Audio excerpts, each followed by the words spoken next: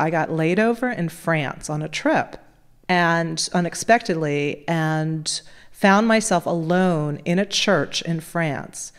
And I just walked in and started praying and just I said I'm so tired of the whole dating thing. I can't do this anymore. This is so painful.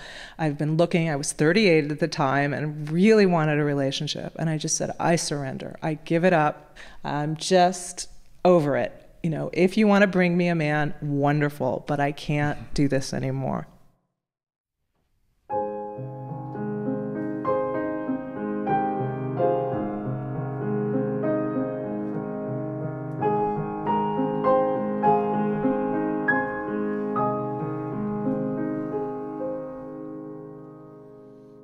I was five years old and I was playing with my dolls, and a voice came to me and it said, You're going to be with a man named Michael Winters.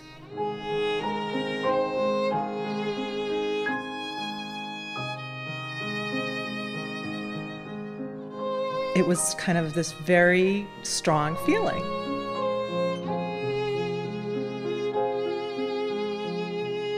Anyway, when I was probably 30, I went to Sedona, Arizona, and the voice came back. And it said, His name isn't Michael Winters, his name is Michael Snow.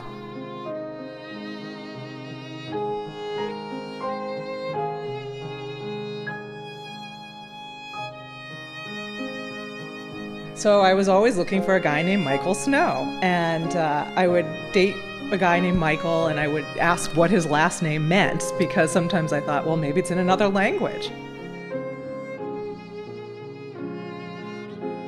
For years, I always painted the same man on there. And I don't know, I was painting way after I'd met him and I realized that I was painting him. They look exactly like him. I don't change my imagery now because I was painting him. He was tall, he had broad shoulders and thin. His facial structure was sort of the same.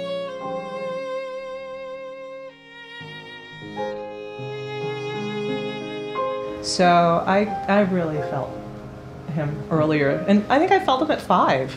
And that's, I think, why it was so painful not to have him in my life because I felt that on such a deep level and it wasn't matching up with the reality of what was happening. I had to wait. We had to be ripe, I guess.